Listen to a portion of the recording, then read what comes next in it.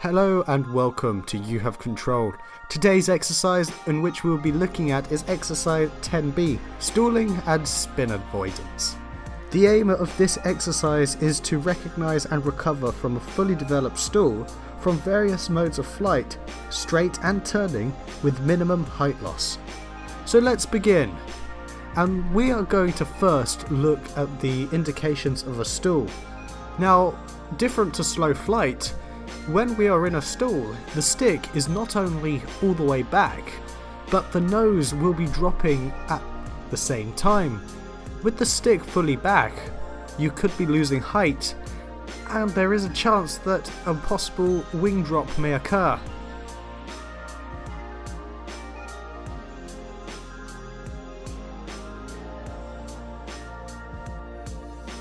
Theoretically, you can stall at any speed, it is all down to the angle of attack.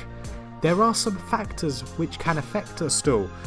These can be whether you have the flaps extended or retracted, your power setting can alter your stall speed, the weight of your aircraft may impact the speed at which the aircraft will stall, the g-forces on the aircraft, load factor, is another effect, as well as possible icing or wing contamination, causing the airflow to break up before it technically should.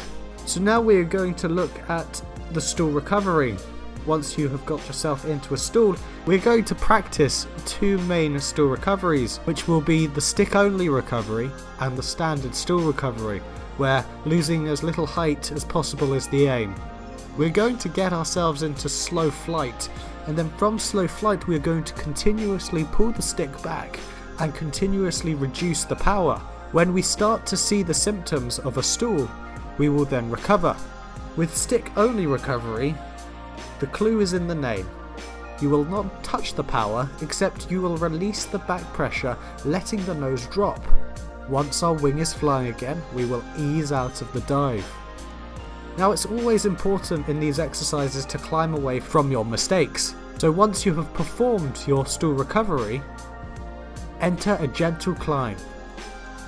The second stall recovery, which is our standard stall recovery, we're going to release the back pressure on the stick and use full power to lose as little height as possible.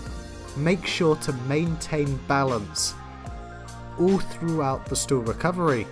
As we approach the stall, make sure to only use your rudder to keep the wings level and to keep the aircraft in balance.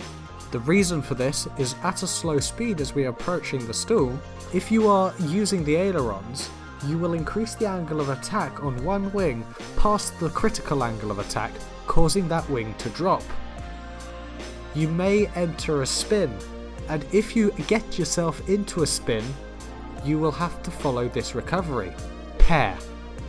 Power to idle, ailerons to the neutral position, rudder in the opposite direction to the spin, and the elevator forward. We will not be practicing a spin in this exercise, as the aircraft we are flying, microlights, are not allowed to do aerobatics.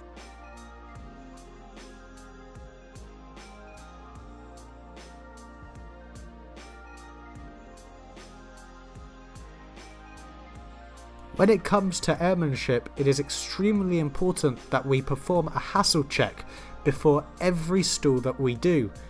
Your instructor will usually get you to stall with flaps and in a turn simulating that turn from base to final.